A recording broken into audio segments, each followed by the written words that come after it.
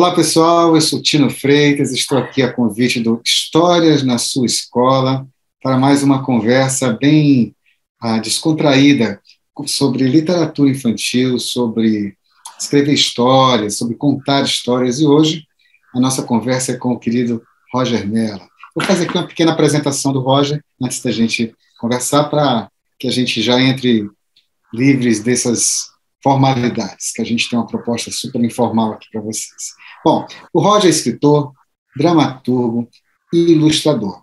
Eu diria que o Roger é mais, o Roger é um artista múltiplo, o Roger, inclusive, canta muito bem, pessoal. Ah, ele é formado pela Escola Superior de Desenho Industrial da Universidade Estadual do Rio de Janeiro. Seu trabalho singular como autor, principalmente de obras voltadas para crianças e jovens, tornou um dos brasileiros mais destacados no cenário nacional e internacional.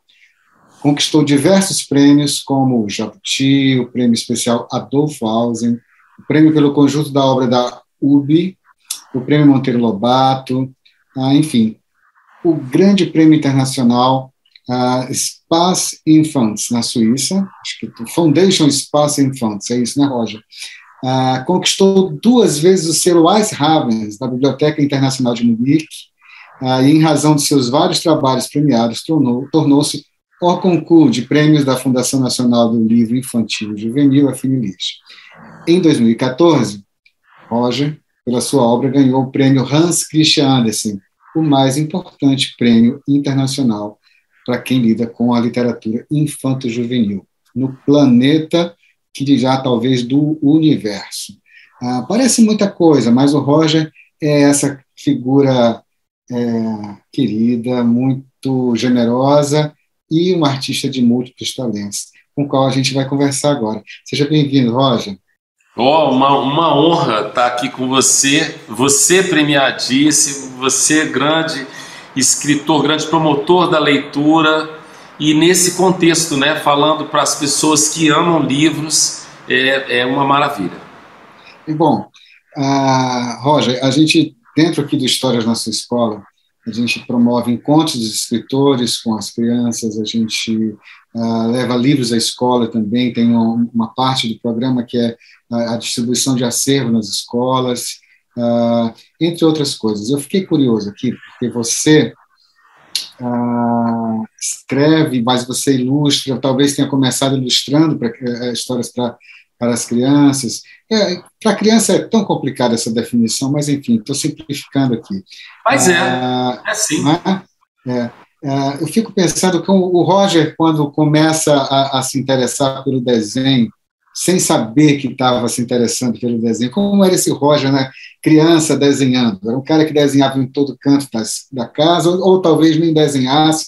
Conta um pouquinho desse Roger menino, ah, para a gente ver depois o que, que se torna esse Roger.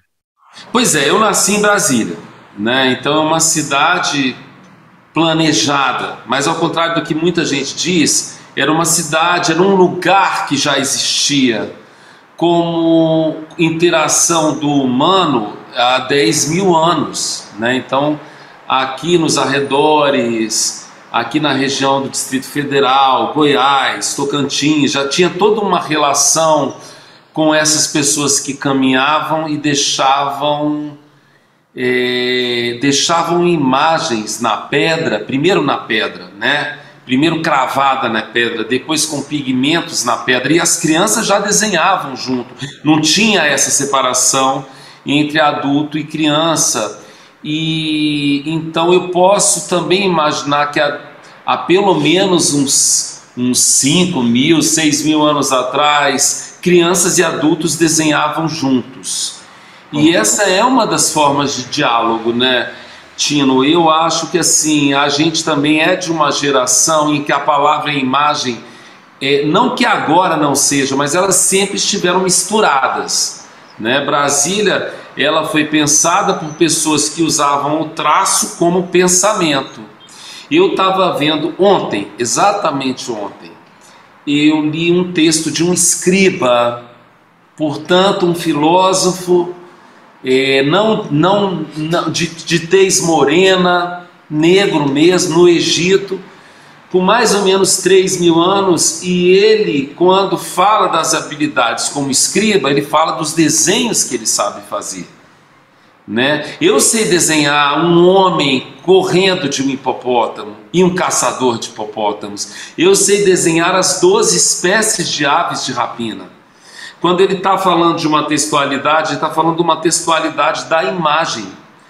É, não porque ele privilegia a imagem, porque ele pense que a imagem é mais importante, mas é porque ele não sabe separar a imagem da palavra.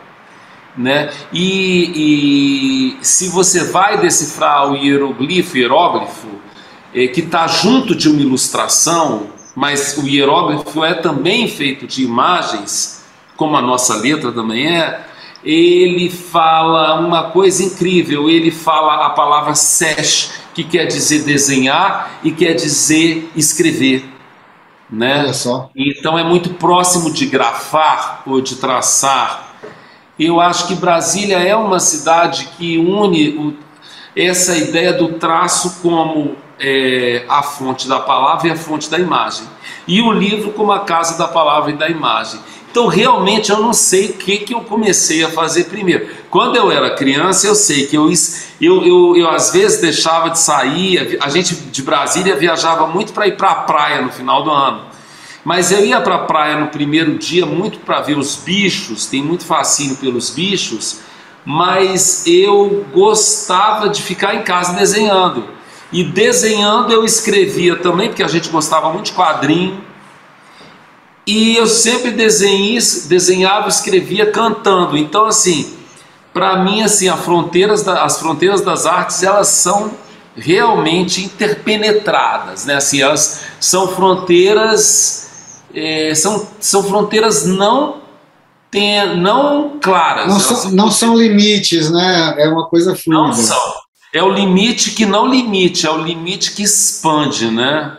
É quando você deixa a água escorrer pela, né? A água da, você molha a planta e a água sai da, da do vaso e, e inunda a mesa e atinge a madeira. É, não tem como segurar esse limite, né? É um limite, limite fluido. Não, gente... esse, esse escriba de 3 mil anos, ele me, me pegou. me pegou porque ficou muito claro. Eu sempre fico falando que o livro sempre foi o livro ilustrado. Né? É, existem é, até agora parece que foi encontrado o mais antigo livro ilustrado teria 4 mil anos. Mas se a gente pensar é, lá do outro lado do mundo, numa região em que havia uma mulher que foi a primeira escritora da Terra, em Reduana, primeira poeta, primeira mulher com registro histórico, primeira filósofa, mas quando eu falo a primeira poeta, a primeira pessoa, a primeira pessoa a professar a filosofia com registro é, cuneiforme, mas o registro cuneiforme um dia foi uma imagem que se abstraiu até virar uma palavra. Eu acho que a palavra e a imagem elas não têm essa realmente essa separação tão clara. A gente fez isso para entender. Né? A nossa sociedade ela faz a quebra para entender. Mas eu acho que agora é a hora de, de ver o todo. Muito bem, Roger. Eu fico pensando que a gente, a gente tem essa percepção, às vezes sem querer, de que o livro, a primeira vez que eu ouvi você ressaltar isso, de que o livro sempre foi ilustrado, eu disse, gente, mas isso é meio óbvio, né? É, falta, é, é óbvio. Mas falta, falta essa percepção da gente, porque quando, quando a gente traça a ideia do, do, do livro para a criança, a gente tende, a, a, maioria das pessoas, ou muitas pessoas, tendem a diminuir isso que se faz, artisticamente falando, sem perceber que a gente está ali ampliando o olhar artístico de qualquer desses leitores, se sejam crianças ou adultos, para uma conversa entre texto e imagem. E você falando agora que gosta muito de, de, de olhar os bichos, de desenhar os bichos, e eu me lembrando aqui de que você, como com gato viriato, ou, ou, ou, você com a flor do lado de lá, você conta histórias com bichos como poucas pessoas contam. sem precisar da palavra como narrativa, a narrativa visual que você impregna bem. Eu fico pensando, Roger, é, é, é esse Roger que gosta de desenhar, de observar bicho, planta, a, a, a, ele, ele olha, ele, ele, esse olhar especial que você tem para o que, que, te chama a atenção quando você olha assim, por exemplo, vou lembrar agora do Carvoeirinhos, onde você tem o personagem que conta a história lá, é o, o, o, o marimbondo. O marimbondo, né? Uma vespa, é. é. Uma é vespa você... oleira, né? É. Pois é, ali estava uma. Tava uma eu, eu, eu achava necessário e tinha vontade de fazer um livro sobre esses fornos que eu via e que me parecia uma espécie de arquitetura da, da contradição também. Ali tinha uma coisa acontecendo é, e que as pessoas iam falar: é, isso envolve trabalho infantil, isso envolve, portanto, trabalho escravo, isso envolve é, destruição do bioma. É, é, tudo a ver com o meio ambiente, essa questão que está tão exatamente. clara para a gente. Mas aí a questão é, é como fazer com que essa história não perca o dado é, ficcional dele. E porque assim, o que você faz quando você entra com temas tão fortes é que talvez você esqueça que aquele menino é aquele menino. E ele tem tanto direito de ter a sua história ou aquela menina, né?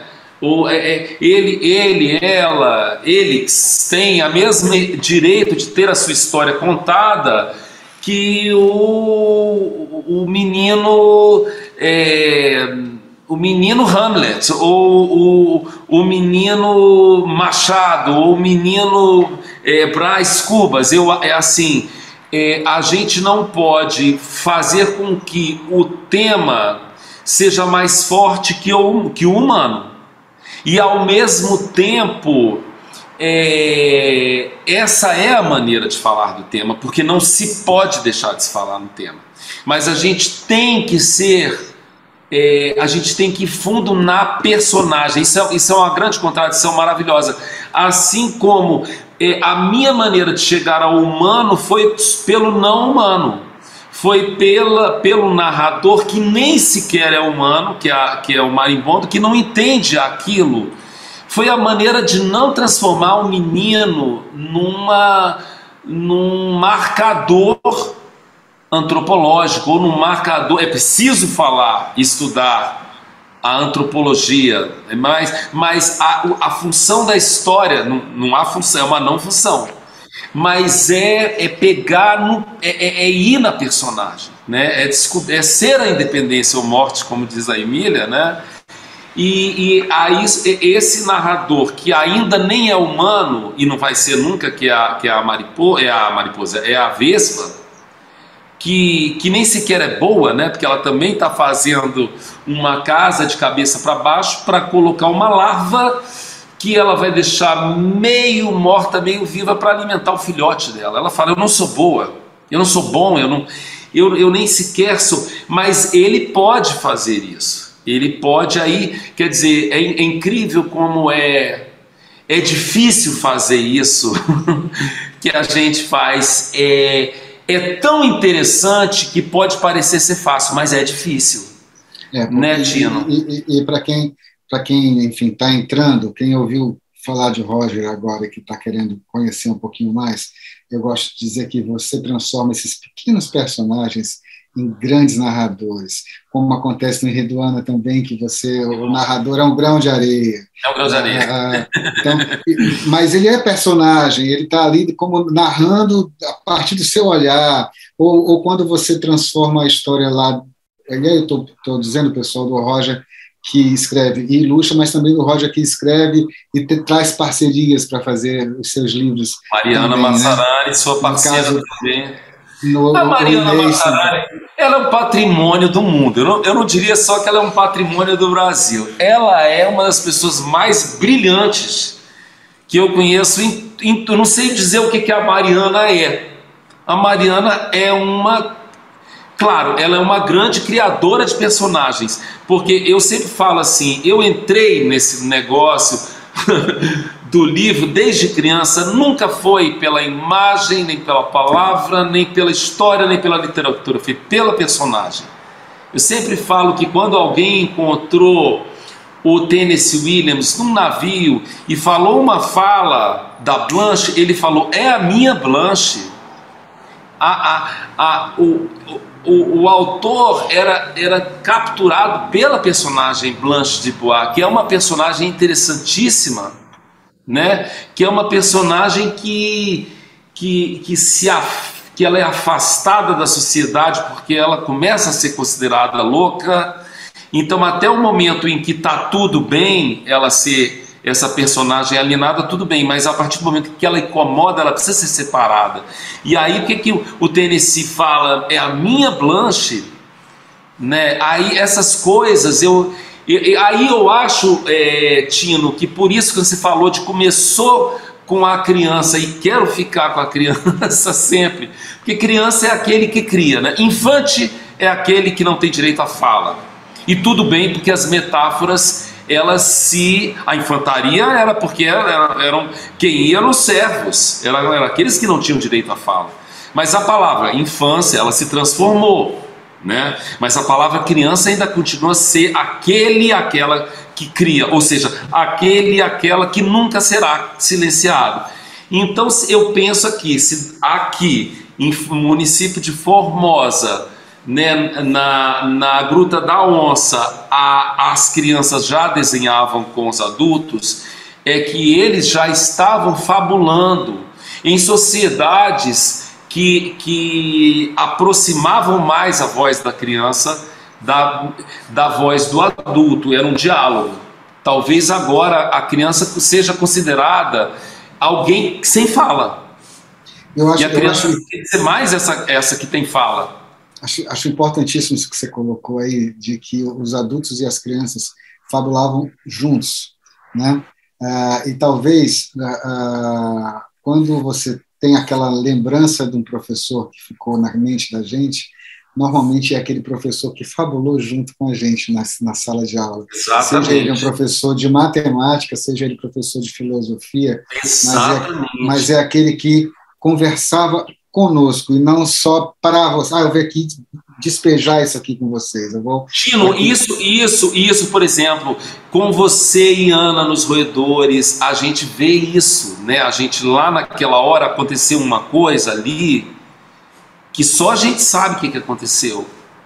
Igual ali na caverna, na, não é uma caverna, na pedra da onça. É, a mesma coisa acontece hoje. O Brasil é um, é um país de professoras e professores, bibliotecários, bibliotecárias, educadores, educadoras que estão fabulando o tempo todo. Às vezes eu vejo as pessoas falando: "Ah, mas porque o professor, o professor no Brasil, a professora é aquela pessoa que que cria também. Nesse sentido, ela, ela se irmana nessa fabulação porque o tempo todo que está acontecendo é que se está é, possibilitando a simulação como grande exercício de proposta, né? Sem, sem a simulação, sem a criar. Eu sei que simulacro muitas vezes vai ser, ser considerado uma imitação torpe da vida, mas mesmo essa imitação, ela me permite, é, me permite é, fazer filosofia, fazer poesia fazer ciência sem fabulação, ou seja, sem simulação da vida. Como seria se o Roger fosse o Tino e se o Tino é, fosse é, um elefante ou um ornitorrinco? Como seria? Quer dizer, a gente não pode achar nunca que, que esse animal, essa ânima, e a gente também volta a, a, a, a, a, a, a, a criar as histórias fundantes é, da América pré-hispânica, do Brasil, que, que, que fala que, em grande parte, fala que antes eram os humanos, antes era o humano, e muitos dos humanos vestem a roupa da onça, decidem, mas todo mundo foi um dia humano, então é, é natural que se fabule a partir desse que tem ânima, desse que tem anima, desse que tem alma. mas é desse que é animado, mas é o que tem alma. Então a gente está falando, não alma, alma, como a gente está falando, mas de uma essência que, que decidiu: eu quero não ser humano, mas eu continuo sendo humano. Então a gente está falando o tempo todo dessa possibilidade de fabular, de criar é, horizontes impossíveis ou, ou, ou, realidades paralelas. Agora tá metaverso está na moda e tal, mas eu acho que a gente sempre fez isso. Né? O que acontece é que essa ancestralidade ela já era muito de ponta, ela era a tecnologia mais avançada. Né? Então a gente vai se reencontrando com isso. Eu, eu fiquei aqui curioso com essa conversa toda, Roger, de, de passear e gostei muito dessa perspectiva do professor com as crianças e essa coisa da gente ir criando, recriando. E penso que a literatura na escola, é, quando a gente traz os livros, a gente pode aproximar mais o, o, o, leitor da gente. É o que a gente faz, de, de, fato, como você diz, no Roedores de Livros, a gente tem a literatura para transformar aquilo tudo em afeto, né? Ah, numa relação. E, mais antes, um pouquinho, você estava falando de, de que o, o, tema ele está ali, mas é, é, é, a gente tem que pensar muito na personagem e, e para que, que se fale do tema. E eu, eu queria ressaltar, para quem for mais curioso e quiser conhecer mais o Roger, um pouquinho as obras, o Roger passeia por temas é, é, é, é os mais diversos no, no, na sua literatura, como, por exemplo, é, é, no Cavalhadas, ele vai falar sobre cultura popular, e que acontece aí pertinho, que acontece ali em Pirinópolis, que Isso. é uma grande festa e, e, e, que fica muito bonito, como, como a, a, essa coisa da onça, né? Eu acho que, que do, do A máscara da onça?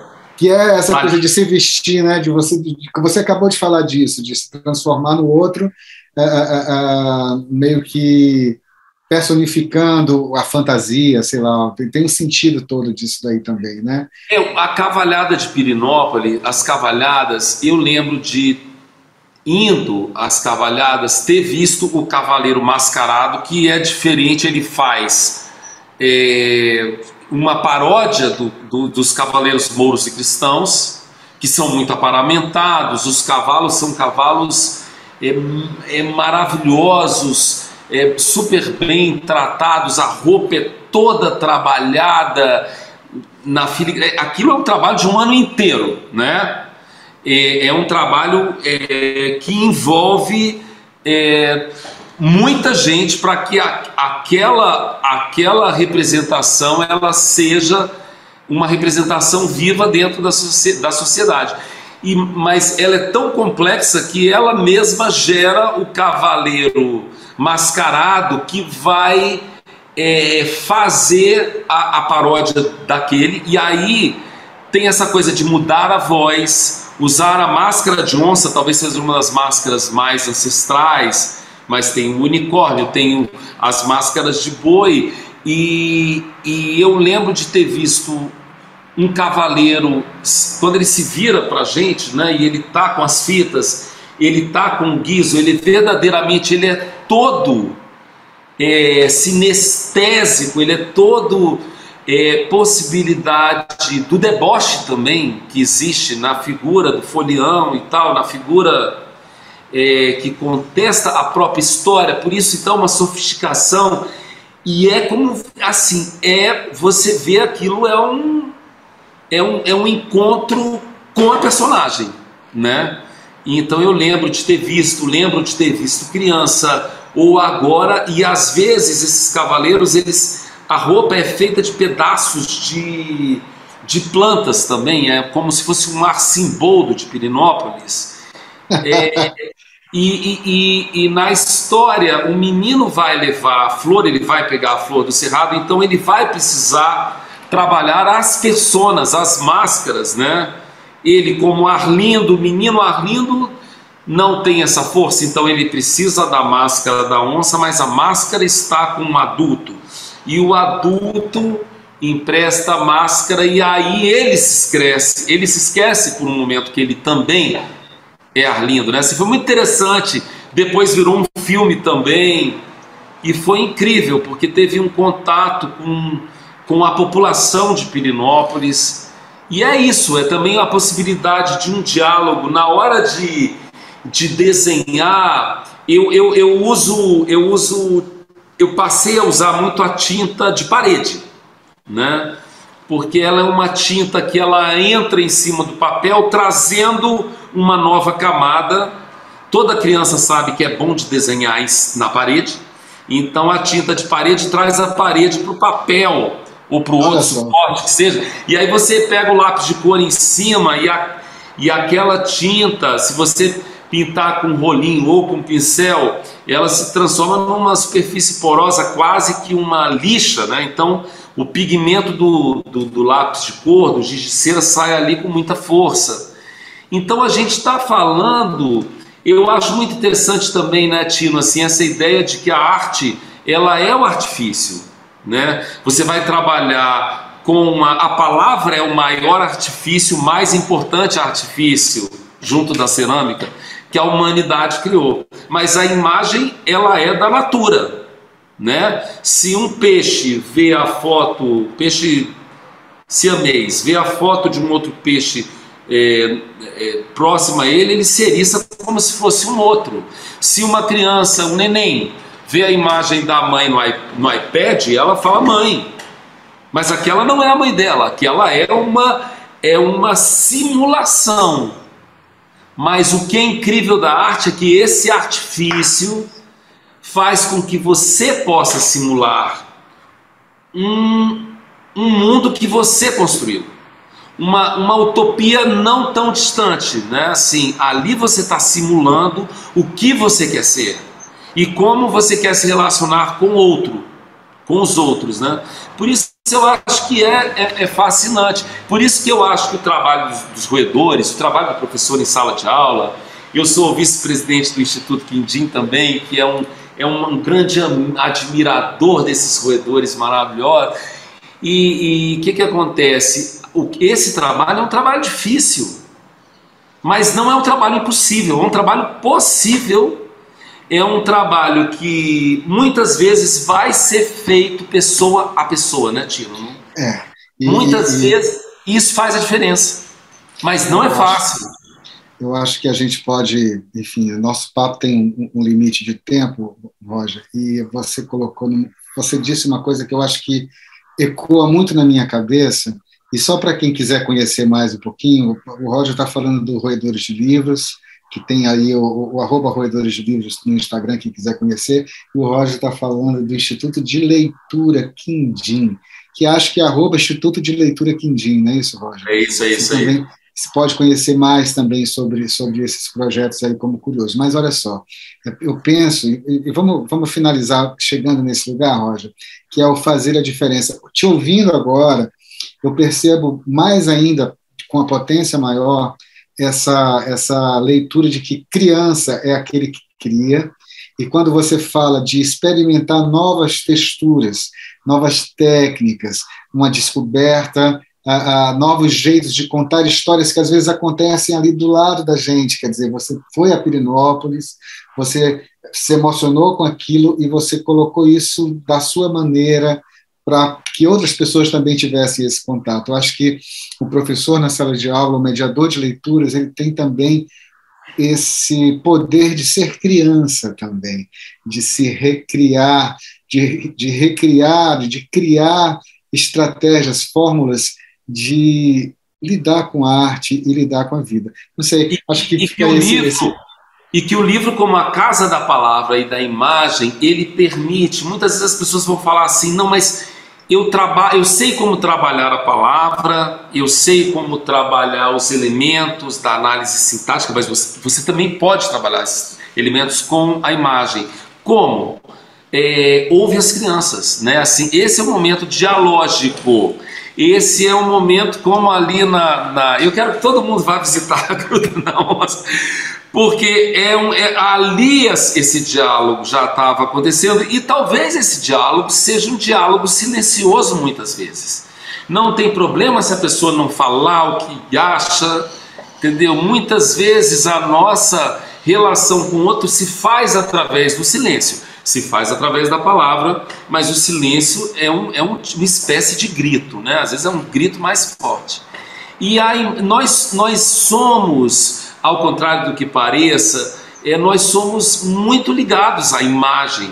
Agora, falando especificamente do Brasil, é um país que as pessoas escolhem, as pessoas se vestem, elas fazem combinações de cores não usuais, difíceis.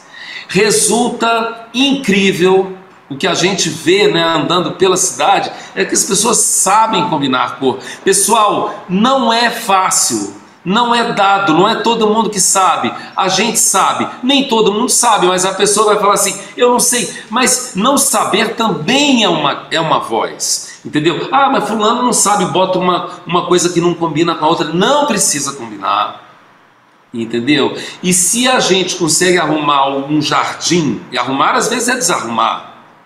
Se a gente arruma a mesa, se a gente coloca um vaso, escolhe flores e fala assim: para você tá ruim, mas para mim tá bom. É a mesma coisa com a imagem em geral. Né? Vamos ouvir as crianças. Eu acho que professoras e professores já fazem isso. Claro, existem pessoas que, que, que estão em processo ou que têm uma verdade absoluta e tal. Mas o que a gente vê viajando pelo Brasil afora, né, Tino? É, aqui no Distrito Federal muito é, é, que as pessoas têm soluções incríveis. Acreditem nas soluções e, e vamos. Olha, eu estudei naquela escola fantástica da 104 304, recomendo a todos que vão naquela biblioteca escola. Ali só tinha uma coisa que eles falavam: esse é um espaço para a criação, não é um espaço para a cópia. Vocês podem copiar onde vocês quiserem, ninguém tem nada contra a cópia, mas esse é um espaço da criatividade. Então, Visitar essa escola eu acho que é interessantíssimo, porque ela também é, um, é uma referência no Brasil, né? E eu espero que ela continue como ela era.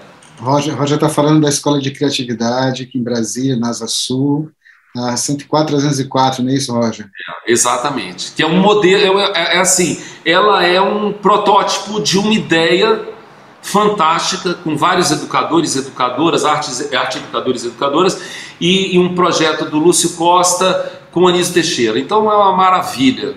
E eu não, não sei como é que não. ela, ela, ela tem que ser patrimônio. Né? A é gente verdade. tem os exemplos, gente, a gente tem as fontes e a gente conta com as pessoas, né? Citamos Bom, aí vários lugares, né, Tino? Pra... Isso, lugares e, e, possibilidades, mas fica sempre ecoando aqui na minha cabeça, Roger, é, é, essa ideia de que criar sempre. É, é a gente pode copiar, é fato, de fato está aí, ó, imita isso daqui, desenha aí a, a Mônica, a, a, faz aí o, o, o, menino maluquinho, bota uma panela na cabeça.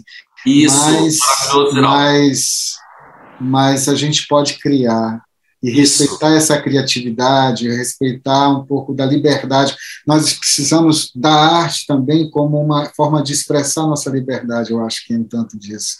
E pensando um pouco nessa, acho que você fala um pouco de tudo isso nessa conversa, Roger, e eu queria, infelizmente, é, é, é, é dizer que nós estamos aqui no nosso limite e é sempre chato essa parte do limite, né, cara? Porque na hora que o negócio está ficando bom, a gente nós precisamos também ter os limites, mesmo dentro dessa criação nossa aqui.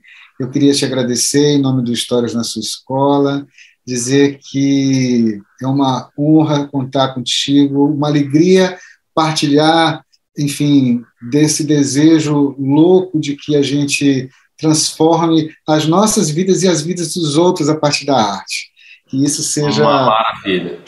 Isso um seja beijo. motor eu agradeço muito, uma honra para mim e que o Histórias da sua escola é, é, se expanda e, e, a narrativa visual ela esteja ligada nesse objeto múltiplo que é o livro, né? Essas histórias que elas elas estão elas estão em, em, em todas as as possibilidades e camadas artísticas.